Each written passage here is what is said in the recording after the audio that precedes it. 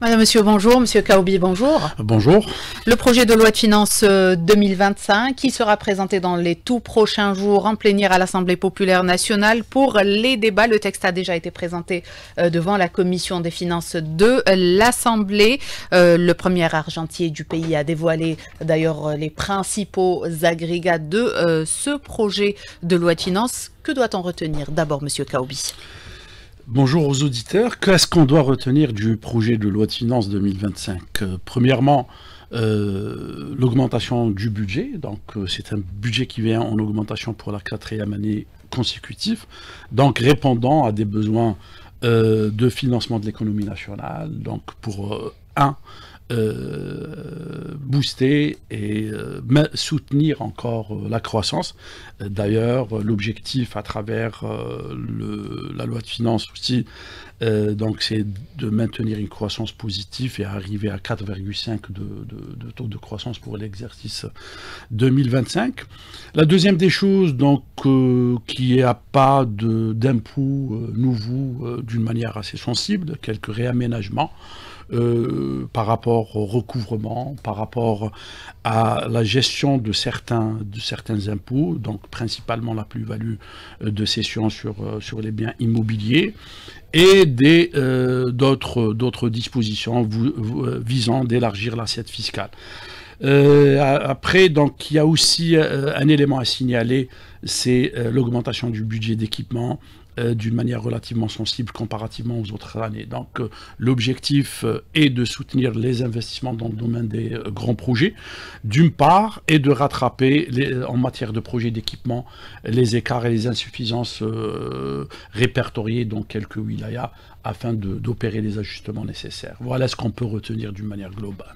Donc les dépenses, elles augmentent de 10%, pratiquement 9,9% pour être précis, reprendre les chiffres du ministre des Finances. Elles doivent couvrir donc l'ensemble des programmes, l'a dit, les mines, le logement, la création d'emplois, c'est les engagements euh, que doit couvrir cette loi de finances, mais également d'un autre côté, des hausses de salaires qui sont mhm. annoncées, des hausses salariales, mais également euh, des, euh, allocations de, des allocations et des bourses également pour les étudiants qui sont annoncées pour cette loi de finances Tout à fait. Donc, dans le budget fonctionnement, il y a les, le chapitre euh, donc, revalorisation des salaires de certains secteurs ministériels, donc l'éducation, euh, l'enseignement supérieur et la santé, donc qui ont vu euh, le régime indemnitaire révisé, les statuts qui incluent donc des augmentations salariales doivent être euh, pris en charge par la loi de finances qui a été fait d'ailleurs.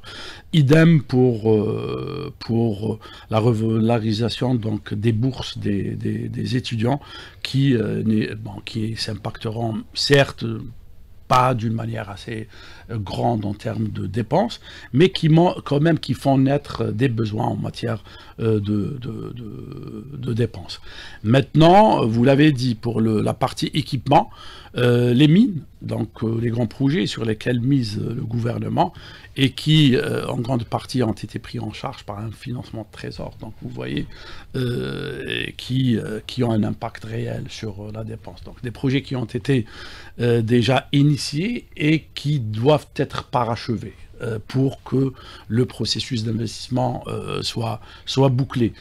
Et vous voyez, donc, euh, d'une manière ou d'une autre, c'est une logique de dépenses qui doit être prise en charge par la loi de finances.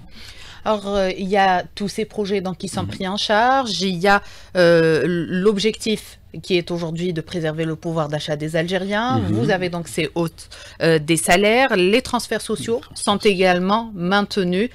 Et il devrait également augmenter, Monsieur Augmenter, tout à fait, augmenter. Euh, les transferts sociaux ont augmenté. Bon, ils, représentent quand même euh, plus de 27% du euh, budget de l'État pour l'exercice, pour le, pour le projet du budget de l'État pour l'exercice 2025, ce qui est quand même important. Donc, le poids des transferts sociaux reste important.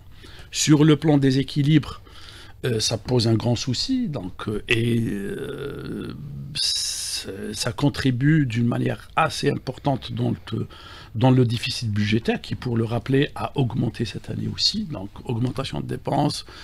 la variation de, des dépenses du budget de, la dépense a été beaucoup plus importante que la variation du budget des recettes, ce qui se traduit par un déficit qui, euh, qui avoisine les 50% pour le rappeler. Donc le projet de loi de finances euh, prévoit quelques 8800 milliards de dinars de recettes et en face, il y a plus de 16 800, 16 900 milliards de dinars de dépenses. Vous voyez que le gap euh, s'élargit.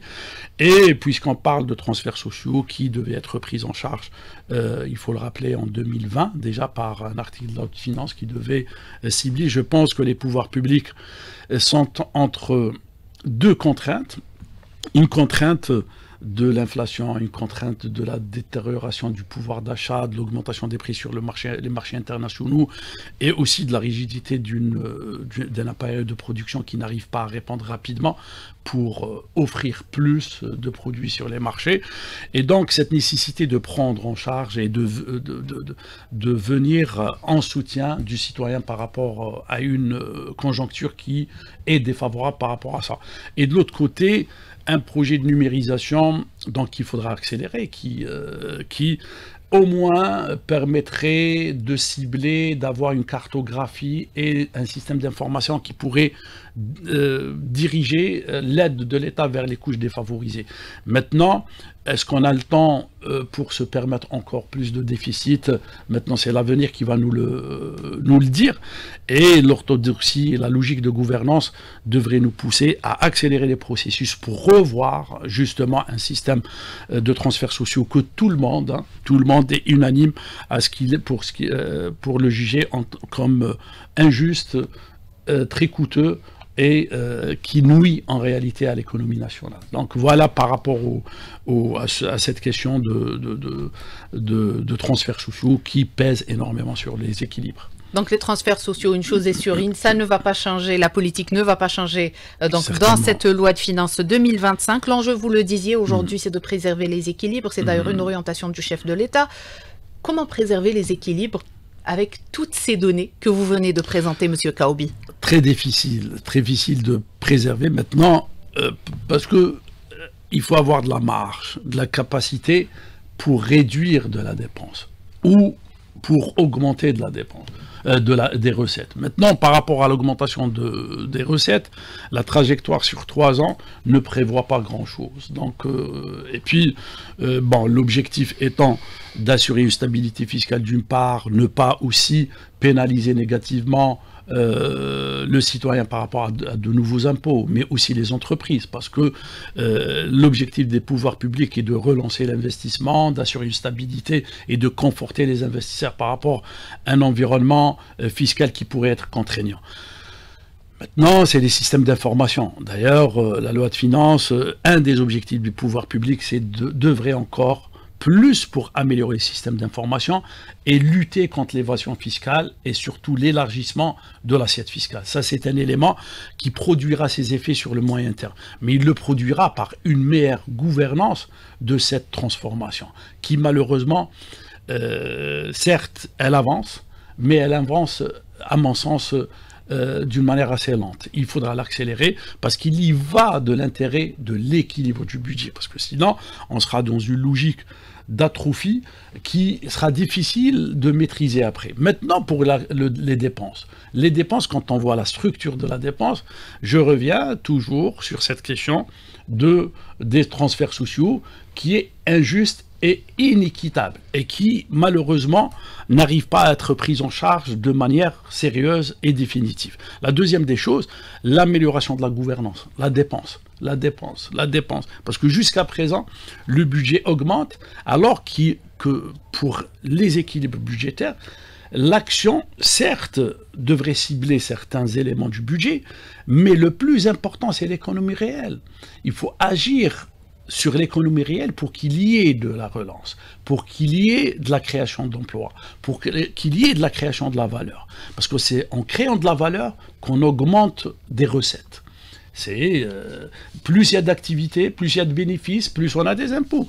C'est quelque chose d'évident. Et là, je dirais qu'il est nécessaire. La source, le gisement, ce n'est pas uniquement le budget, mais c'est l'économie réelle. Il faut aller vers la transformation reconforter booster l'investissement, non pas par rapport à des chiffres et à des enregistrements au niveau de l'API uniquement, mais réhabiliter les logiques de prix, euh, libérer l'investissement qui, qui, qui, tarde à, revenir, surtout dans, dans, le, dans la, sphère privée, et, et ça, ça, ça, passe nécessairement par des, par, des, euh, par des réformes qui doivent toucher tous les secteurs. On reviendra toujours pour dire que le rythme et la synchronisation des réformes devraient changer par rapport à l'approche qui a été vécue durant les quatre premières années. Il y avait le Covid, il y avait des contraintes qui étaient objectives.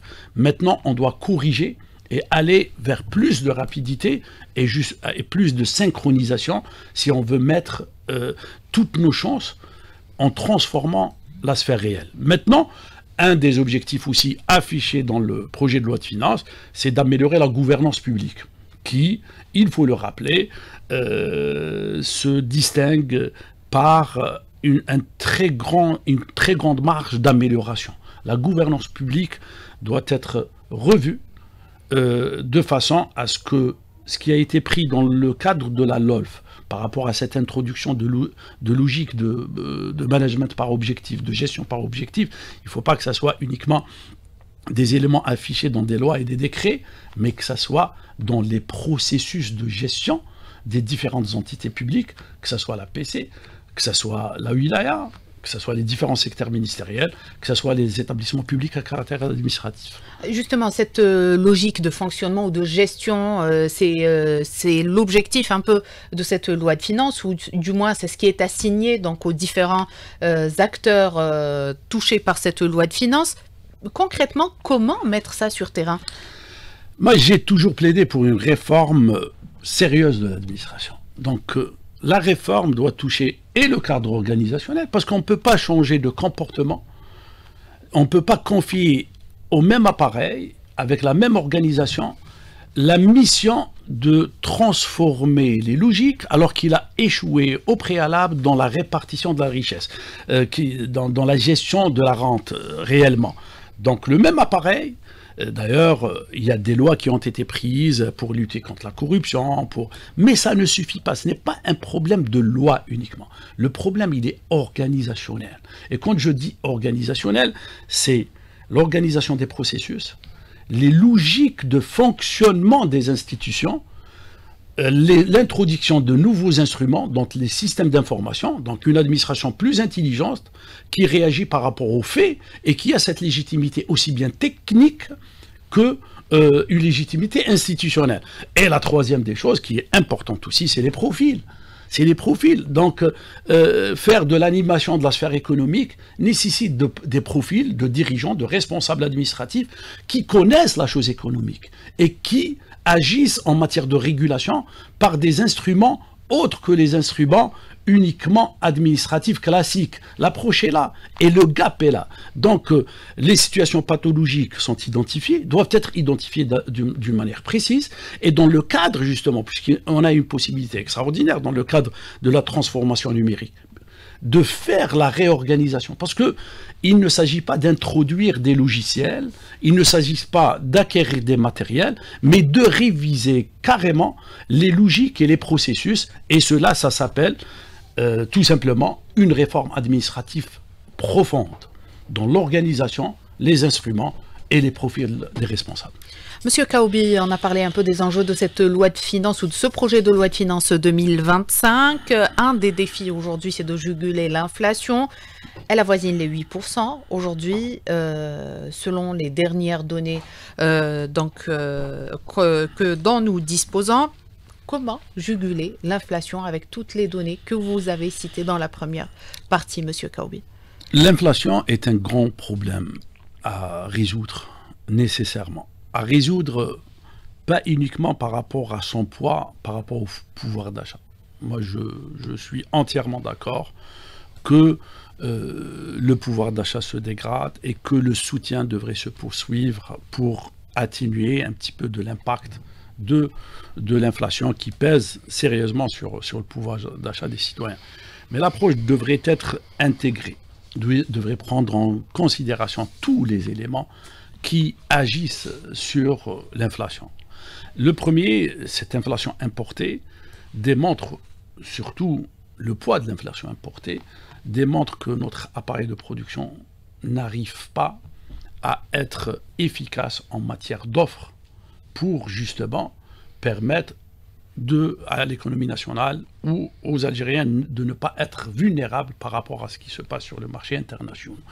Et quand on voit que pratiquement 60 à 65% de nos besoins alimentaires, de manière générale, sont importés.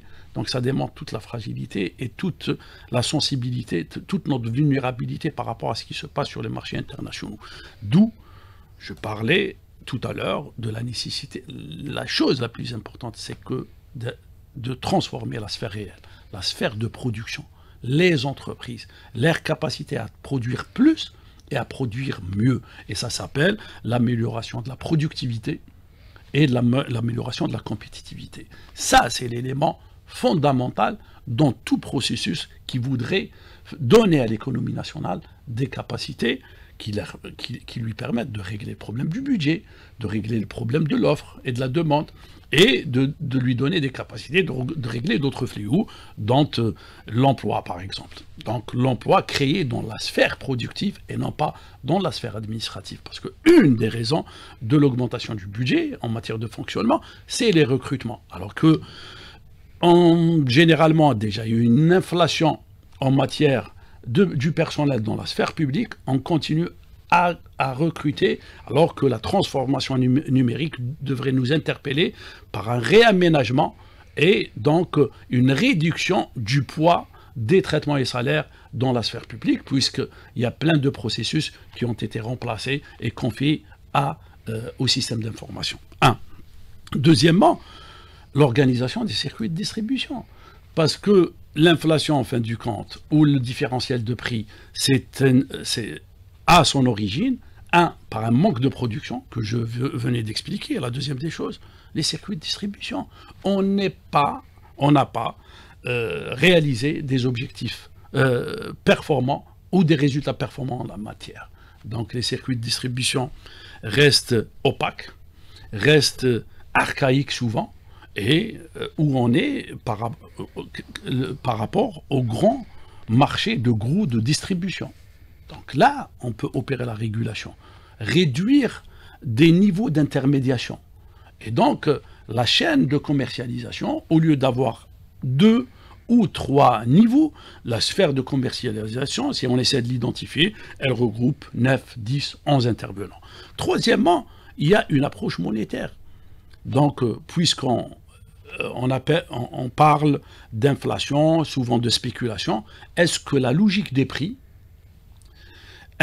qui, régit notre sphère économique est une logique de prix réel ou une logique qui est déconnectée de la sphère réelle et du prix réel. On va retrouver un différentiel de prix dans le taux de change, on le retrouvera nécessairement dans les subventions, et ça crée des, des distorsions qui créent un effet d'éviction qui favorise l'émergence d'un marché parallèle. Et donc, un secteur productif pas assez performant, des circuits de distribution pas assez bien organisés, une euh, distorsion en matière de prix, et donc la boucle est bouclée. Et là, on se retrouve dans une situation où l'inflation, combien même on peut, on essaye de la réduire en augmentant des salaires ou en accordant des crédits d'impôt ou en des exonérations d'impôts telles que l'IRG, etc. Mais il y a le pouvoir d'achat réel, et le pouvoir d'achat nominal. On agit sur le nominal en augmentant les salaires, mais en réalité, les autres ressources, les autres facteurs tellement déterminants, on n'arrive pas à les maîtriser. Et euh, qu'est-ce que ça crée? Ça crée une alimentation de l'inflation par elle-même, donc plus de salaires, plus de prix, et on n'arrive pas à régler le problème. C'est pour cela que les ajustements, la réforme de l'administration permettrait de régler certaines distorsions. La révision du mode de transfert sociaux est indispensable parce que ce n'est pas en matière de coût que le problème se pose. C'est c'est euh, en, matière d'impact sur les logiques de prix qui créent des effets d'éviction pour l'économie parallèle et non pas l'économie réelle. Et in fine, qu'est-ce qu'on a? On a un appareil de production qui n'arrive pas à se libérer, à s'émanciper et à améliorer de sa rentabilité et de sa productivité. Alors la valeur de la monnaie, vous en avez euh, fait allusion rapidement, c'est une des préoccupations des députés d'ailleurs euh, lors de la présentation en commission finance euh, du projet de loi de finances. Là aussi, est-ce qu'il n'est pas urgent quelque part d'agir pour, disons, valoriser le dinar, Monsieur Kaoubi Valoriser, ce qui valorise le dinar, c'est la compétitivité de l'économie et, sa productivité. Autrement, c'est encore un langage administratif qui essaie euh, de régler de la phase apparente, alors que la phase réelle, la plus difficile, on ne l'attaque pas. Et il faut se dire les vérités. Au jour d'aujourd'hui, on a intérêt, sérieusement, à aborder cette question de taux de change ou du régime de taux de change si on veut créer des évictions pour la production et non pas la consommation. Le taux de change tel qu'il est formulé aujourd'hui encourage beaucoup plus la consommation et l'importation en créant un effet euh, de prix euh, comparatif favorable pour les produits étrangers que pour les produits nationaux. Deux, euh, le, taux de change tel qu'il est aujourd'hui réduit de nos capacités de compétitivité, car il y a un ajustement qui se fait et qui est en défaveur de la production nationale. Donc, depuis euh, depuis 1994 jusqu'à 1997, on a essayé de faire des ajustements. Amélioration des revenus pétroliers, ils nous, font, ils nous ont fait oublier le processus d'ajustement par les marchés et non pas par rapport à un tout, certes flottant, tel qu'il est déterminé par la Banque d'Algérie, mais flottant administré. Alors, euh, une dernière question, peut-être Monsieur Kaoubi. Aujourd'hui, il y a instruction euh, pour euh, créer une agence donc mm. des équilibres chargée des grands équilibres du budget de l'État, de la planification et de la prospective, quelque part un retour vers ce qui existait déjà pour la partie planification et prospective. Cette agence, ou est-ce qu'elle doit d'abord prendre en charge ces questions que vous venez de soulever?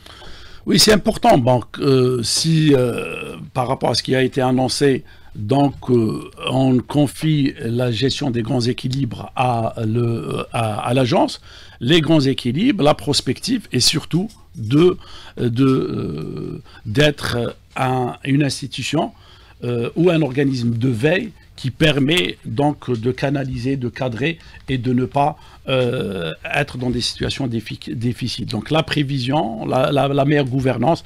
Maintenant, on aurait souhaité à ce qu'il y ait la réhabilitation d'un ministère de planification qui aura euh, un champ d'intervention beaucoup plus important et des instruments beaucoup plus importants. Maintenant, elle est la bienvenue, l'agence, pourvu qu'on lui donne les prérogatives, qu'on l'outil et qu'on lui permet de jouer justement ce rôle de veille tellement important dans les systèmes de gouvernance aujourd'hui. Merci euh, Monsieur Kaoubi. On arrive à la fin de cette émission d'aujourd'hui. Merci euh, Monsieur Kaoubi d'avoir répondu à nos questions, d'avoir été avec nous en direct dans les studios de la chaîne 3. Merci à vous chers amis auditeurs de nous avoir prêté attention. Je vous donne rendez-vous demain avec un nouvel invité et une nouvelle thématique.